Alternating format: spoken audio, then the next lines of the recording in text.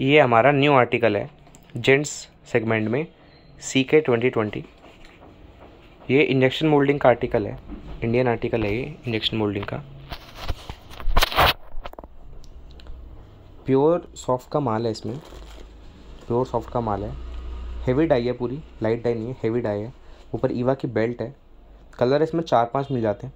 एक अपना navy blue आता है एक अपना ब्लैक कलर आता है। अंदर लिफ्टर लगा होता है ताकि माल पूरा दबे ना।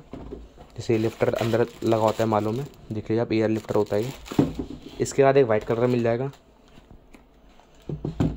वाइट के अलावा आपको इसमें एक मेहंदी कलर मिल जाएगा और एक ग्रे कलर भी मिल जाएगा। तो आज ही ऑर्डर करें।